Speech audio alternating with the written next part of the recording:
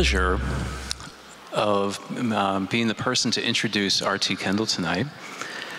R.T. Kendall earned his Master of Divinity from Southern Baptist Theological Seminary and his Doctor of Philosophy from Oxford University. He was the minister of Westminster Chapel in London for 25 years. R.T. has authored more than 60 books, which display his gifting as both teacher and prophet with titles as diverse as God Meant It for Good, a fresh look at the life of Joseph, Holy Fire, Amen. Sensitivity of the Spirit, learning to stay in the flow of God's direction, and total forgiveness. His next book, to be released later this year, promises to rock the boat of today's Christian church.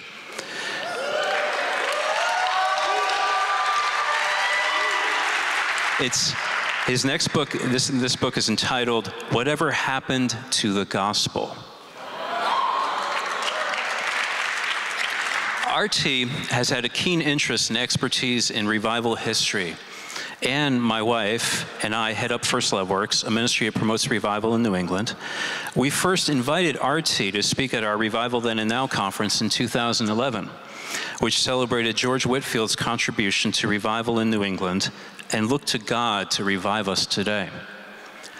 RT was our keynote speaker in 2012 when we again hosted Revival Then and Now, that time honoring Jonathan Edwards' place in revival history.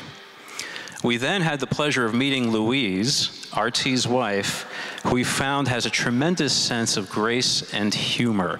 Louise, would you stand so we could just acknowledge you?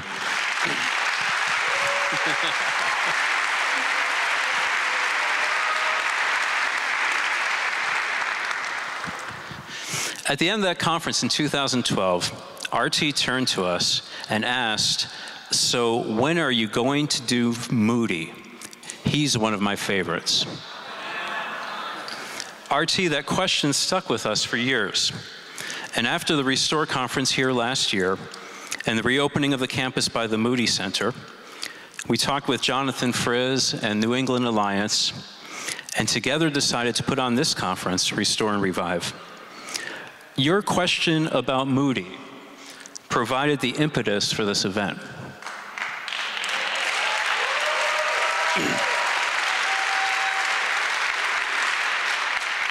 We thank you and we look forward to the rich feast that you will serve us tonight from God's Word and the anointing of the Holy Spirit that you bring. Let's all rise and give a warm welcome to R.T. Kendall.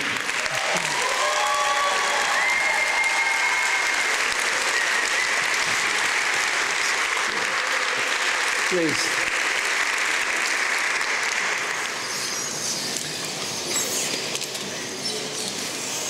With an introduction like that, I don't know what you're expecting. Actually, Tom, the way you introduced me reminds me of a friend of mine from Pennsylvania. He was introduced to this large sales gathering as the man from Texas who had made $200 million in oil. And he was going to tell how he did it. Well, when he heard the introduction, he panicked. He thought, oh dear, what am I going to do? Well, he said to himself, there's only one thing to do, and that's to stand up and tell these people the truth he said, folks, before I get into my talk, uh, there are one or two discrepancies in this man's introduction to me. First of all, I'm not from Texas. I'm from Pennsylvania. Second, the money was not in oil, it was in coal. And third, the money was not $200 million, it was $200,000. Fourth, it wasn't me, it was my brother.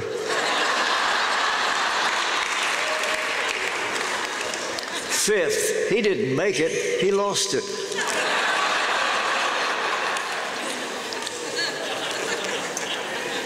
Well, this is the third time I've been invited to be with you, and I'm honored. Thank you, Tom, Ann, and uh, pray that this will be a a blessed time. Um, you, you kindly mentioned my books. What you didn't say, we're trying to get rid of them. Everything is $10. It's supposed to be 15, 16, 17, 10. Easy to remember. And if there's any left over, we'll ship them to Nashua, uh, New Hampshire, where I will be in a couple of weeks. But it's a delight to be with you. I am not preaching, but I did feel I should read two verses, actually from Romans.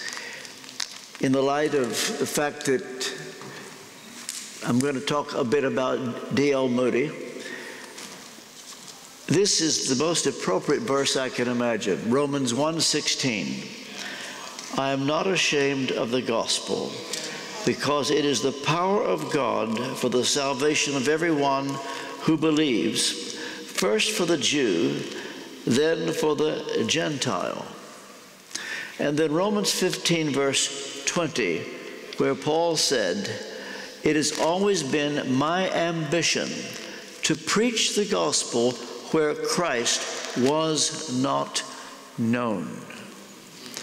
Well, may God be pleased to bless the reading and that we can do what is right to honor D.L. Moody and bring honor and glory to God. A brief word of prayer. Heavenly Father, I pray now for the sprinkling of the blood of Jesus by your Spirit to fall upon every mind in this place in order that their perception of what is said will be heard as you intend. And cleanse my tongue that I will be your transparent instrument to say what needs to be said, nothing that doesn't need to be said. I pray that we'll give due honor to D.L. Moody, but the great honor to our Lord Jesus Christ, and that you will put your seal upon this word tonight.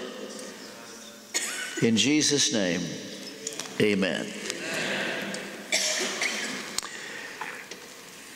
Jonathan Edwards taught us that the task of every generation is to discover in which direction the sovereign Redeemer is moving, then move in that direction.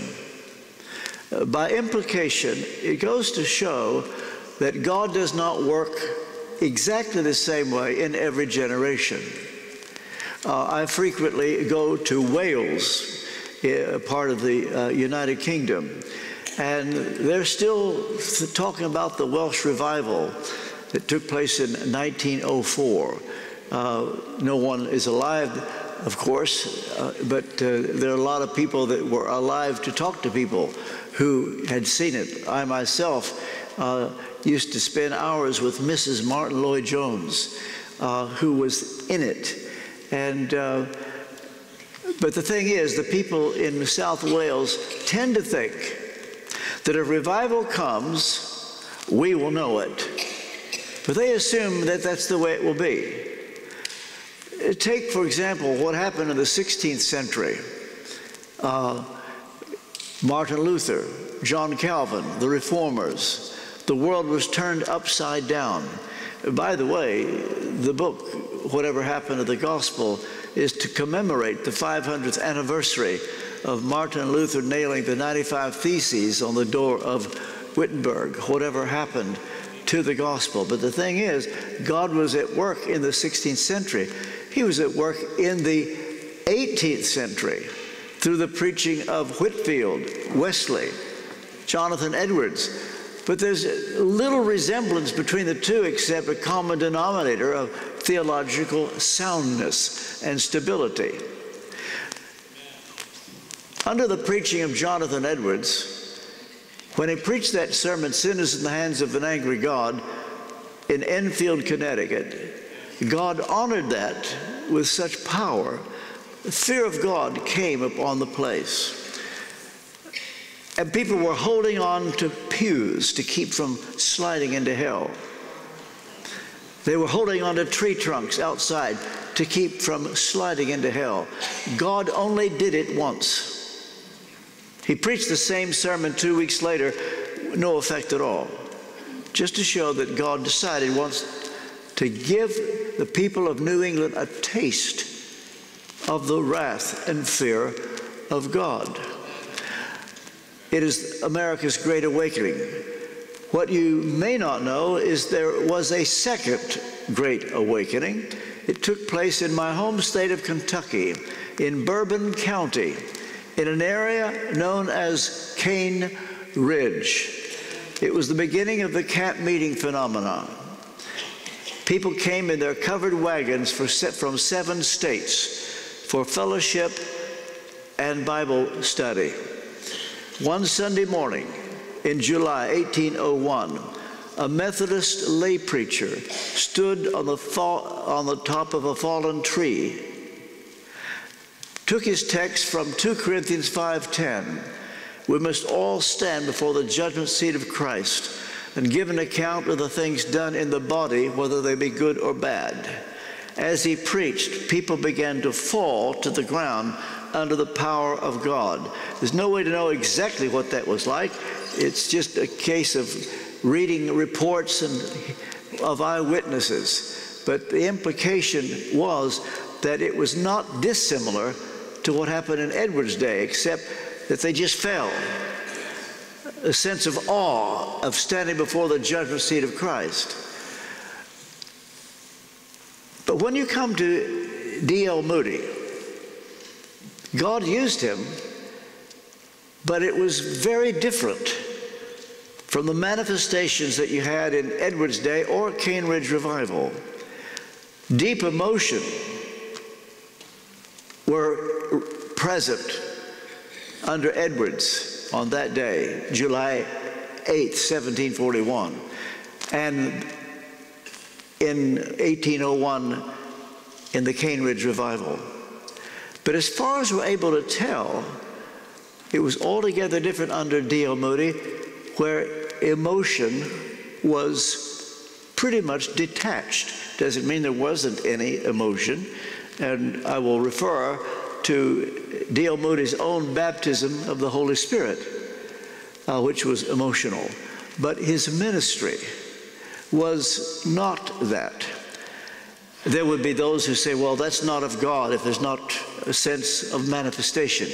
You'd be like the people in Wales that think that revival is going to be like it happened then. Take Hebrews chapter 11. All those people did what they did by faith. Not one of them got to repeat what was done before. Enoch walked with God, he was taken to heaven. Abraham walked with God. He thinks, oh, maybe I'll be taken to heaven. No, he went out not knowing where he was going. Noah walked with God. Oh, maybe I'll be taken to heaven. No, you build an ark. And it was never repeated. And we must remember that the way God may choose to manifest himself in our day may have no precedent. And that's where the stigma is. Because the critics of revival always say, oh, show us where this has happened before, or show it here or there. And so the question is, are we willing for God to show up in a way that is unprecedented. Because what happened under D.L. Moody was unprecedented. Dwight Lyman Moody was born February 5th, 1837, in Northfield, Massachusetts. He was only 62 years old when he died. And I just saw at a distance his burial place, his grave, next to his wife, just a few hundred feet from where we stand. He preached the gospel to more than 100 million people. His motto was, This one thing I do. And that referred to soul winning. I wonder if I'm going to make you a little bit uncomfortable tonight. Because if we give an invitation at the end, are you willing to be a soul winner?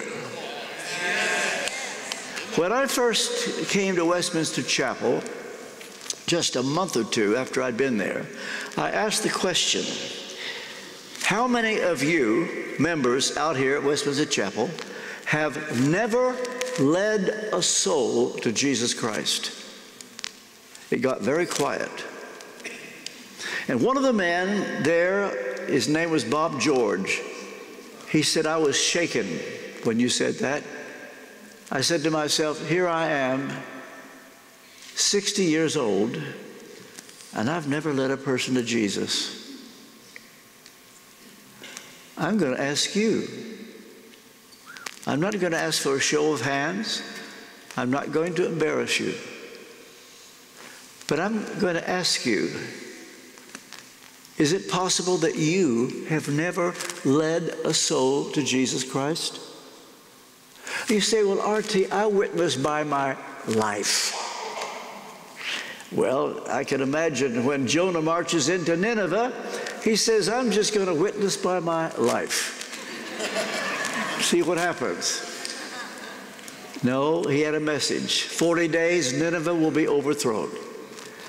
And you don't really get many people saved as you might hope just because you witness with your life. In fact, there was a lady in California who had the view that she would only witness with her life. She wasn't going to bother people, talk to them about Jesus, witness with her life. And one day, after being at the job for several years, a person came up to her and said, You know, I've been watching you. You're different. You are different. What is it? And so this lady is going, mm, Thank you, Lord. Thank you, Lord.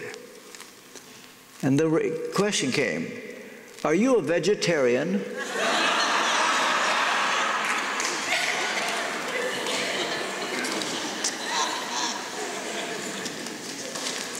D.L. Moody was born into abject poverty.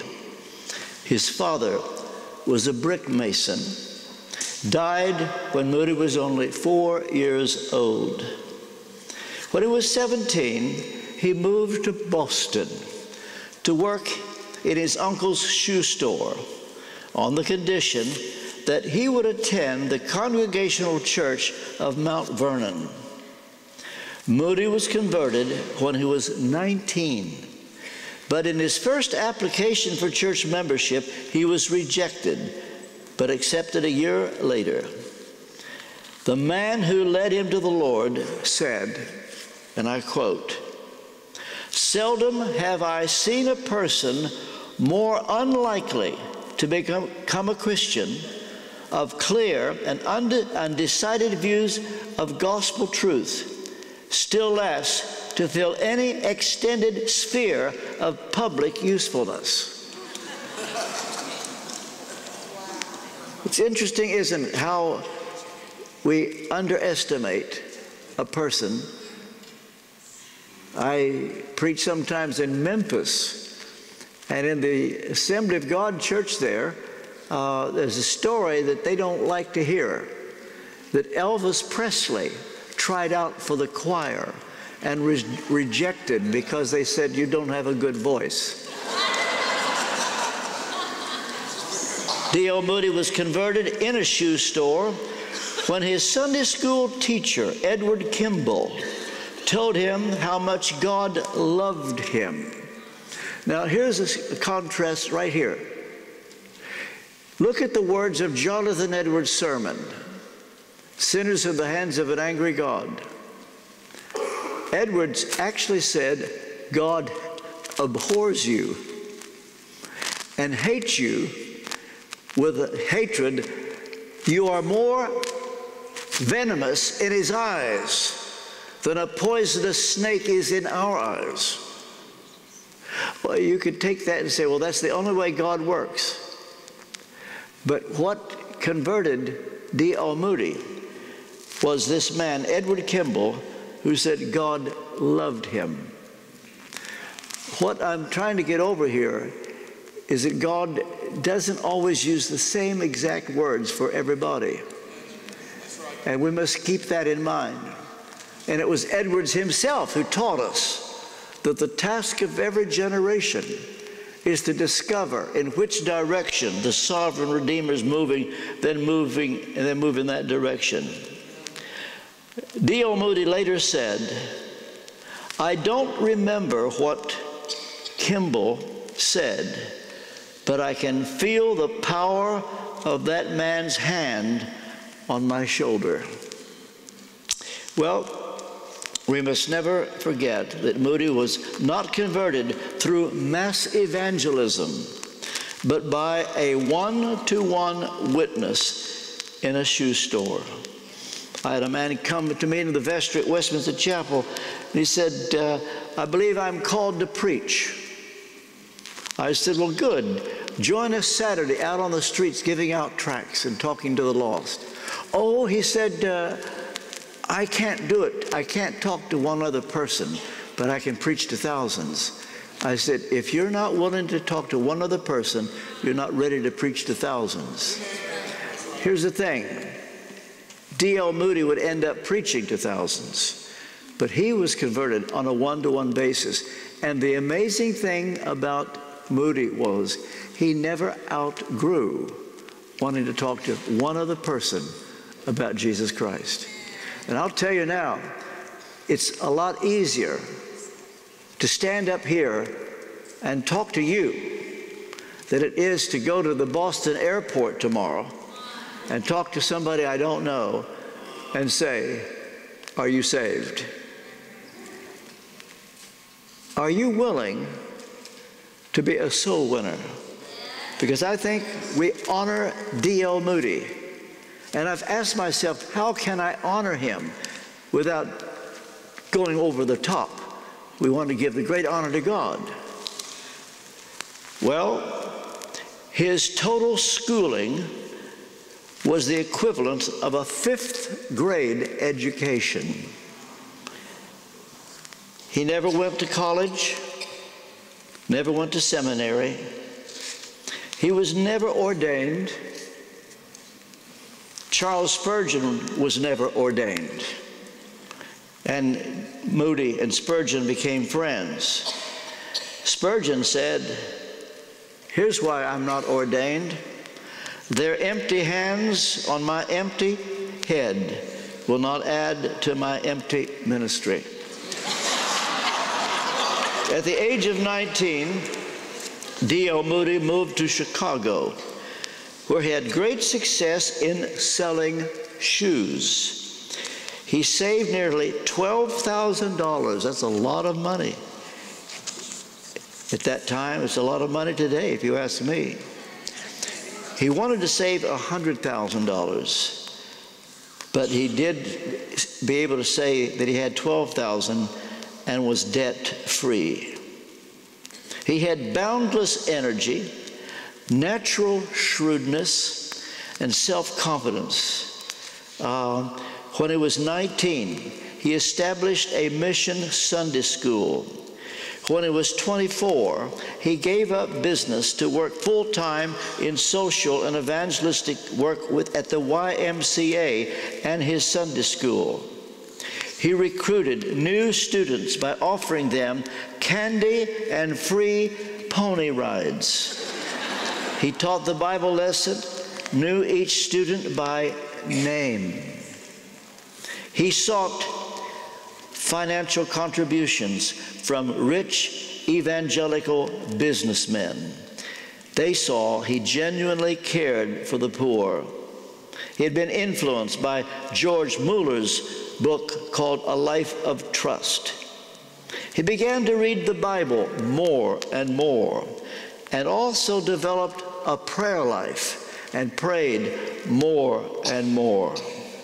When I think of many preachers today, and I am sorry, but I happen to know this is true.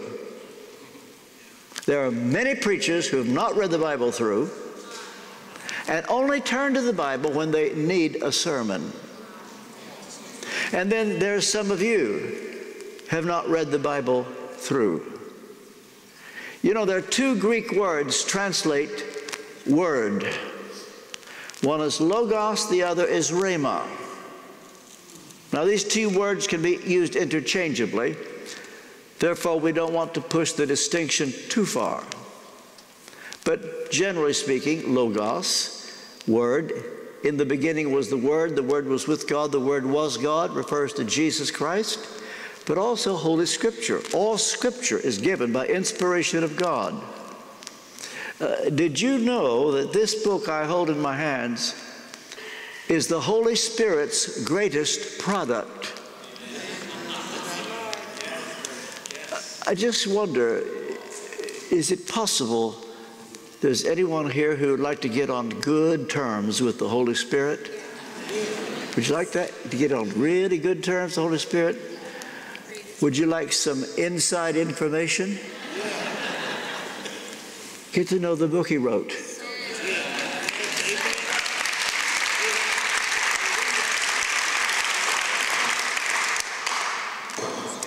He's very proud of it.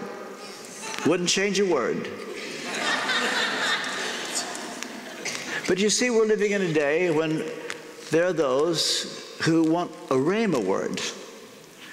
What's that? Well, word of knowledge, prophetic word. And I know major leaders who don't bother to read scripture, but they want a rhema word. And some of you are like that, I suspect, of quick word. You don't want to take the time to read four chapters a day for a year. That's what it takes to go through the Bible, four chapters a day.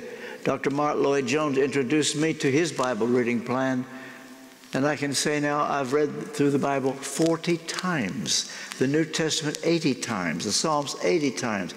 Some of you haven't read it once. Oh, you say, I want a Rhema word you know what, something right now. Should I uh, take this job? Should I turn left or right? Uh, should I go to the store today? Should I get married? Something real quick. It's like those who go to McDonald's or Burger King because they're in a hurry. Oh, by the way, I've got a Rhema word for you. You ready for it? Here it is. Chase after a Rhema word and you'll probably never get it. Seek God in His holy word, and He'll give you a Rhema word when you need it. Amen.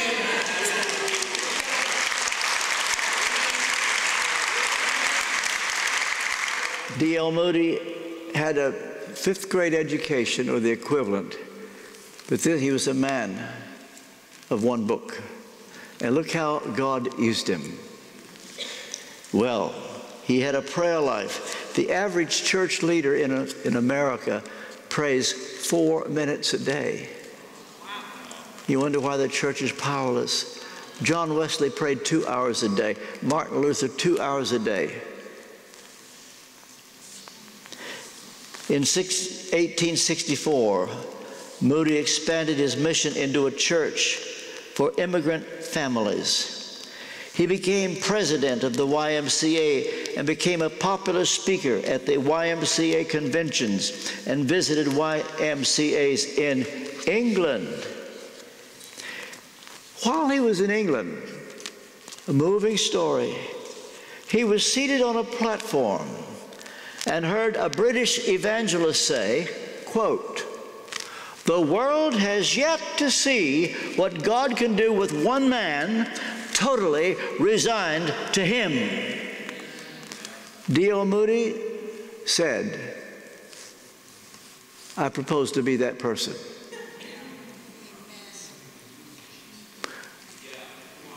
Let me ask you a question. How does it make you feel? The world is yet to see what God can do with one man, totally resigned to Him. Be careful before you say, I want to be that man. And let me tell you why. When Moody said that, the angels were eavesdropping. and they looked at each other and they said, You think he means that? Six weeks later, his house burned down, Six weeks after that, through the Chicago fire, his church burned down. You say you want to be totally resigned to God, he, want, he will want to know can you take it when things don't go right? Well, he became convinced, however, of a teaching that divided him and a lot of other Christians. I don't want to go into it except it's part of his life. He became convinced of the premillennial view of the second coming of Jesus. I used to believe that myself. I've changed. And I can understand why some believe it. It's easy to prove. And he became a friend of C.I. Scofield. And the Scofield Bible uh, became very popular in America. And the trouble with the Scofield Bible is people who don't know the difference will read the Bible and read Scofield's notes and think they're equally the Word of God, where they're not. Scofield would give his interpretation, and it caused many to believe in a particular way. Uh, my own view on this, and uh, I didn't plan to say this, and I hope I'll be forgiven. Uh, but I've got a book. I wouldn't have even thought of it, but somebody brought it by a while ago. Just they just bought it. It's is your heart prepared for the midnight cry? You see, my view is that the next thing to happen on God's calendar is not the second coming, but the awakening of the church just before the second coming. And that's what the midnight cry is. The word midnight does not mean 12 o'clock midnight. It comes from three Greek words, middle of night. It's when the church is in a deep sleep, as if in the middle of the night, expecting nothing. And then comes this awakening. And I know it's your heart's desire that a night like this could precipitate it. You want to see it happen in New England again. Why not? But that's the next thing. And according to Moody's own view, uh, that's not likely to happen because things would just get worse and worse. So when you talk about a man, you want to extol them, but they're not all perfect. And if you disagree with me, uh, I have written a book also called Total Forgiveness, so it's okay.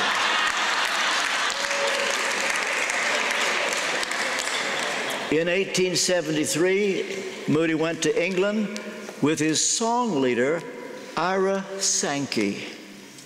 And in England to this day, when you mention Moody, you mention Sankey. Moody, Sankey. They were together. And they were very popular. And, and if you sing a song in England that has like four verses but one chorus, they'll call it a Sankey hymn. That's what they call it in England. It's a Sankey hymn. Very American, they think, but they like them. Some of them do. So while he was in London, he preached for the great Charles Spurgeon. Uh, here's a conversation. I hope this will make you smile. As he and Spurgeon were speaking, Spurgeon was smoking his cigar. This may disillusion you with the great Charles Spurgeon, but he did. He smoked cigars and D.L. Moody rebuked him. I don't know if you've seen a picture of D.L. Moody, but he's not exactly Mr. Slim. And so Spurgeon said, Listen, Moody, there's nothing in the Bible against this, but there's a lot in the Bible against that. And he pushed his finger into Moody's tummy. I was hoping you'd smile at that. He returned to America in 1875 as an internationally famous evangelist. And it became uh, a new style and began a new career for Moody in America. For the next few years, Moody conducted revival campaigns in large cities and small cities and actually uh, went to skating rinks and abandoned railroad depots as places to meet. No one had ever done anything like that before. During these years, he pioneered many techniques of evangelism house to house canvases. When have you heard that being done lately? He enlisted the cooperation from all local churches and evangelical lay leaders, regardless of their denominational affiliation.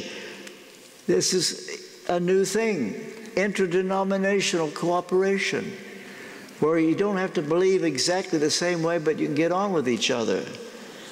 And so he also sought philanthropic support by the business community.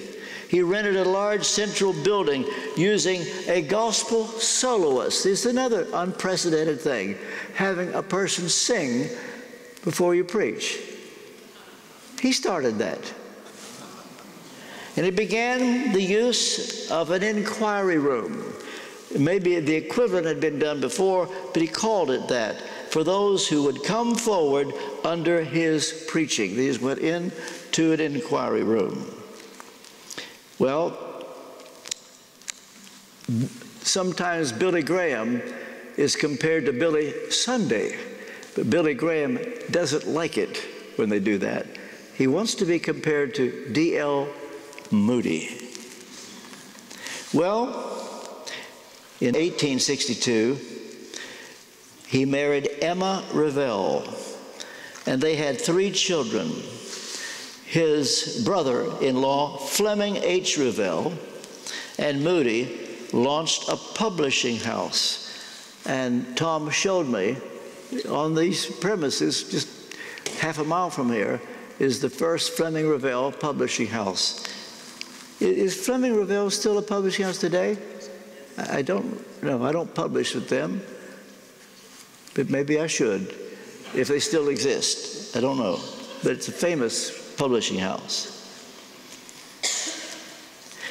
In 1880, Moody returned to his home in Northfield, and he shifted the main focus of his ministry to education the requests to be mentored and trained for Christian ministry became so common that Moody knew he could not ignore them. In 1886, he launched the Bible Work Institute of the Chicago Evangelistic uh, Evangelization Society, and it was renamed the Moody Bible Institute shortly before his death in Northfield, he invited adults and college age youths to the first of many Bible conferences at his home. So his ecumenical spirit and lack of theological training almost certainly kept him from rigid doctrinal positions. He invited preachers from diverse theological traditions to his summer conferences held right here as I speak. And I happen to know that G. Campbell Morgan, who was one of my pre- predecessors at Westminster Chapel, uh, got his international reputation as a Bible teacher by coming to this auditorium many times uh, uh, over a hundred years ago. This changed his preaching style. Well, he had an interesting experience that uh, there were a couple eccentric ladies in his church who were always saying that we're praying for you, Mr. Moody, uh, implying that he needed more of something. And he would get annoyed with them and he would do his best. And as he would preach, these two ladies would look at each other and go, Sometime later, he was in Brooklyn. Amazing story. As he was walking in the street of Brooklyn, he wasn't in a church, he wasn't praying, He was just walking. Holy Spirit came down on him with such power that Moody said, I asked God to stay his hand. He said, I thought I would die right on the spot. After that, when he preached, the two old ladies looked at each other and said,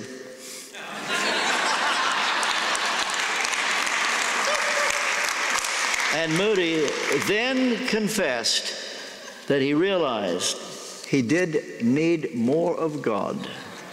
And this is quite a concession to someone who's already been successful.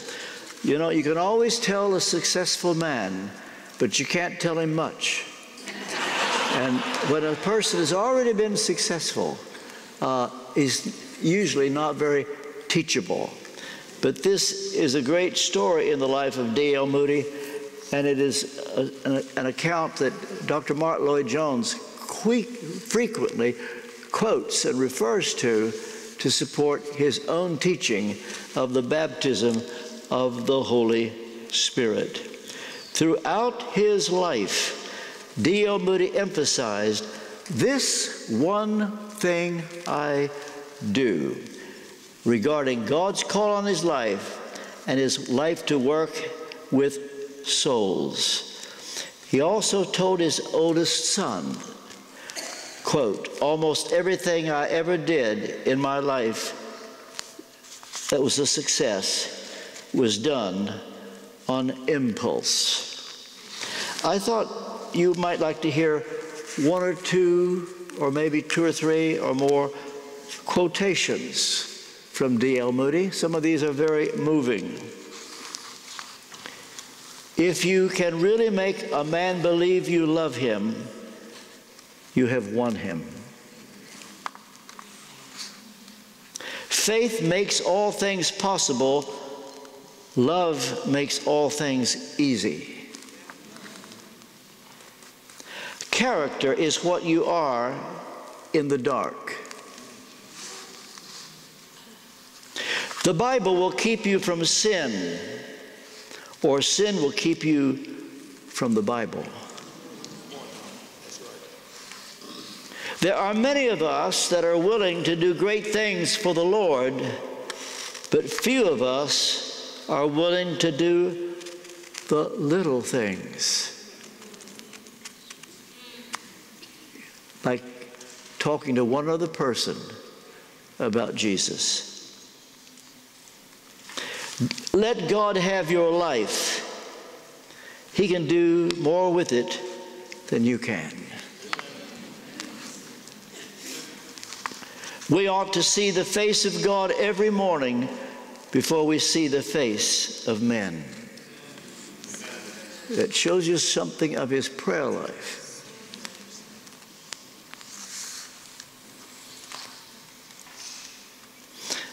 A rule I have had for years is to treat the Lord Jesus Christ as a personal friend. He is not a creed, a mere doctrine, but it is He Himself we have. The beginning of greatness is to be little. The increase of greatness is to be less.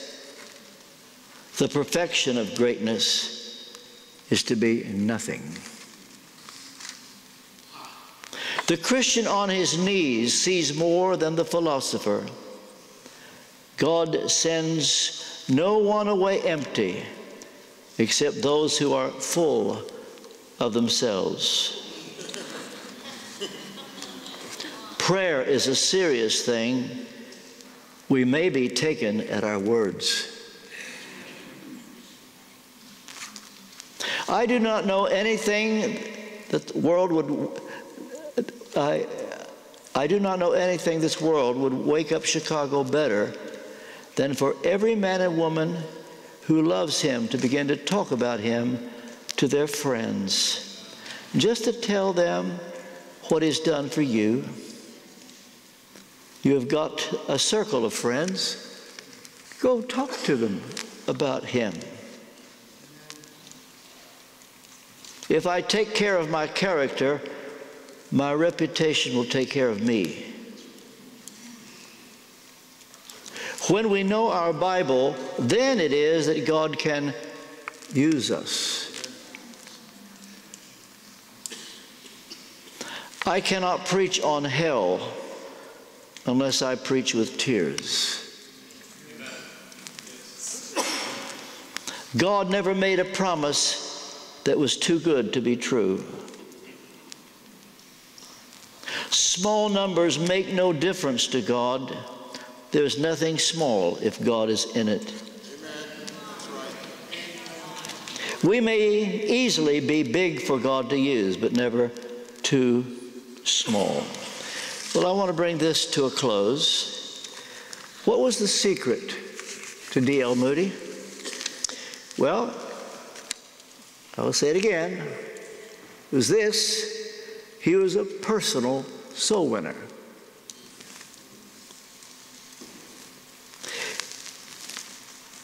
He had uh, this position and passion that everybody needs to be saved. Do you believe that?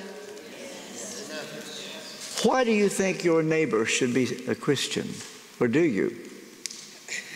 Why do you think your loved ones should be saved? And so we're talking about a man basically uneducated and unpretentious. And it's just God's sense of humor that He would take somebody with a fifth grade education and let him reach millions. God used his personality as a salesman when it came to preaching. And the big thing is his baptism with the Holy Spirit. Without a doubt, that's what happened to him in Brooklyn. Now, I'm not going to allow this talk to be controversial. There are four interpretations of the baptism of the Spirit. All help a good people.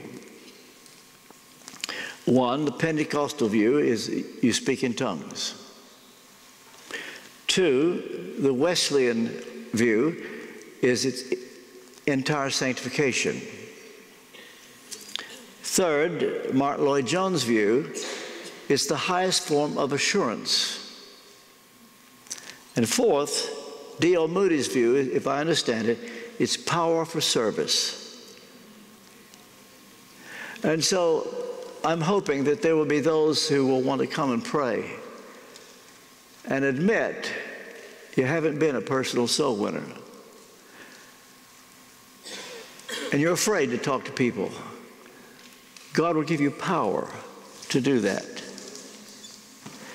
But before I come to that, I do need to ask this question. And you may feel just a little bit insulted that I would put this kind of question to you. Uh, but here goes. Do you know for sure that if you were to die today, would you go to heaven? Do you? Suppose you were to stand before God and He were to say to you, Why should I let you into my heaven? What would you say? Suppose uh, as you came in, uh, you were given a sheet of paper. We, we, we, might have done that, Tom. Give everybody a sheet of paper as they come in, and um, you don't know why we've given it to you, but go along with me. You've got a sheet of paper now in your lap. Get out a pen. And I want you, in your mind right now, to answer the question if you were to stand before God, and you will, and He were to ask you, He might, why should I let you in? And there's only one answer, and you've got to get that answer right now. and you're going to be all by yourself. You've got nobody to coach you, no friend to whisper the answer. What would you say? Start writing in your mind right now, right now. If this were the real thing, I'm standing before God. He says, Why should I let you in? There's only one answer. You got to give it now.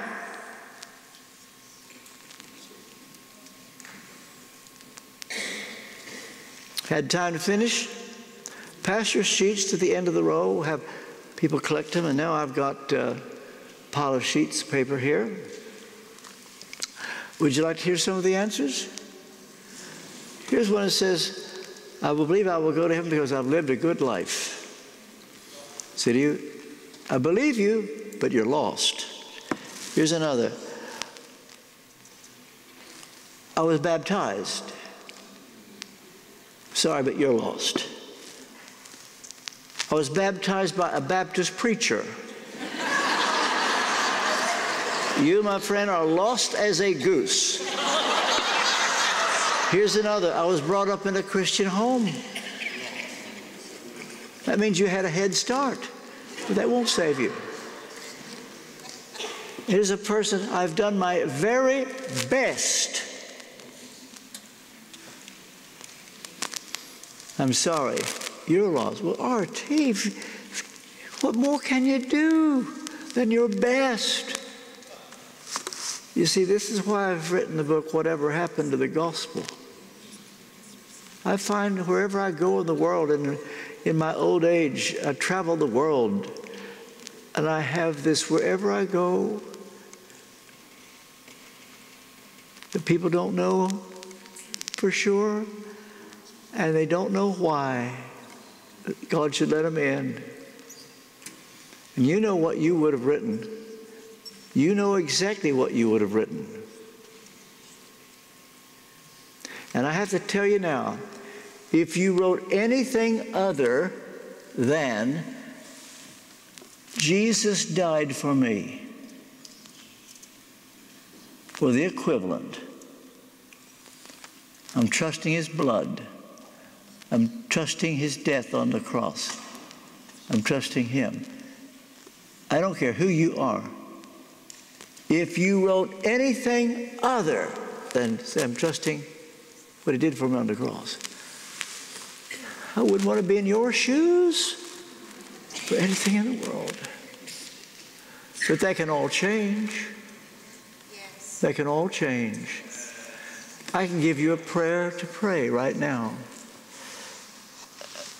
I think before I give you the prayer, I need to take two minutes because I've got a feeling somebody needs to hear this. For the person who says, I've done my best, and I say, You're lost, you say, Well, that's not fair. Here's why your best will always come short of the glory of God. In order to get to heaven on your own steam, it means being perfect in thought, word, deed, 60 seconds a minute, 60 minutes an hour, 24 hours a day, every day of your life. That's what it takes to get to heaven. In that case, nobody gets in quite. That's why God sent his son into the world who fulfilled the law. And he was sinlessly perfect 60 seconds a minute, 60 minutes an hour, 24 hours a day, every day of his life. And while he was on the cross, all our sins were transferred to Jesus. And God punished Jesus for what we did. And in that moment, the whole world was reconciled.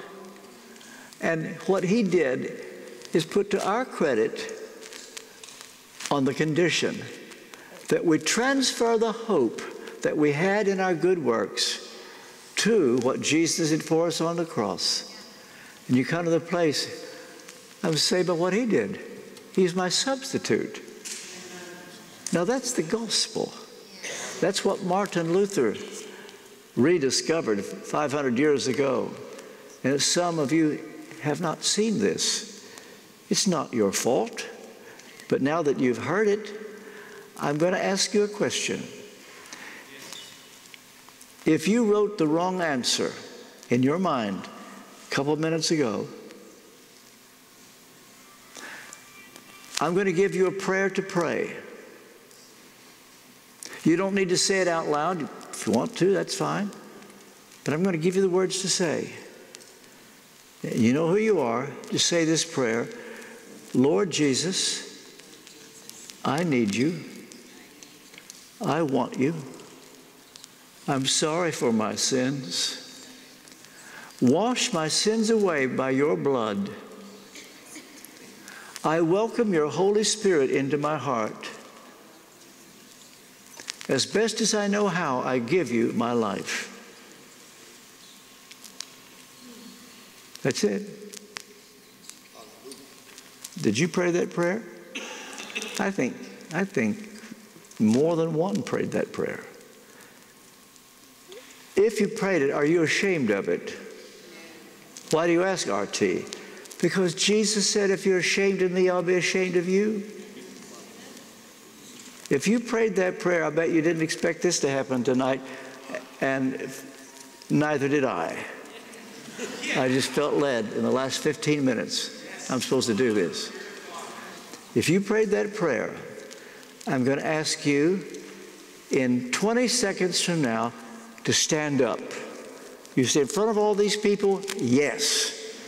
Jesus said, if you confess me before men, I'll confess you before my Father. Not going to ask you to make a speech, but if you prayed that prayer, five, four, three, two, one. I want you to stand up if you prayed that prayer.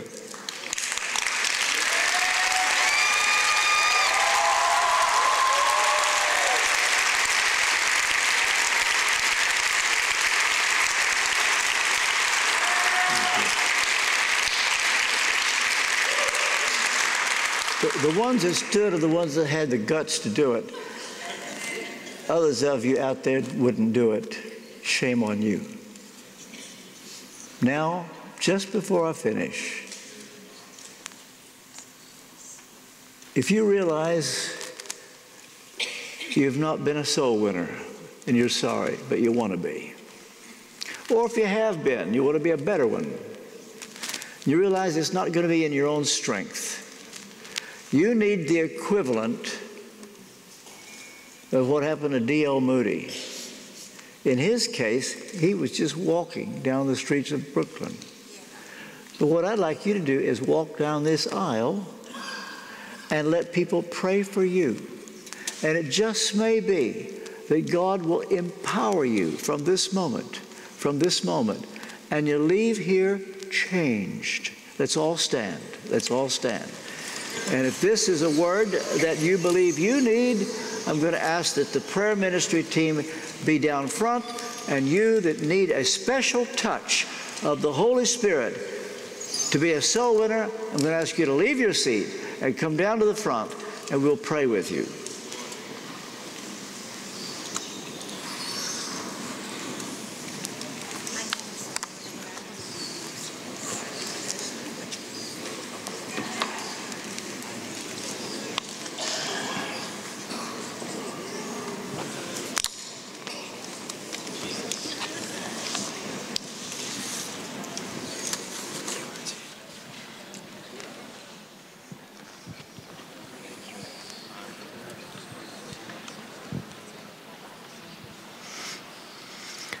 Going to keep things open for ministry for a while here. This is a very holy moment.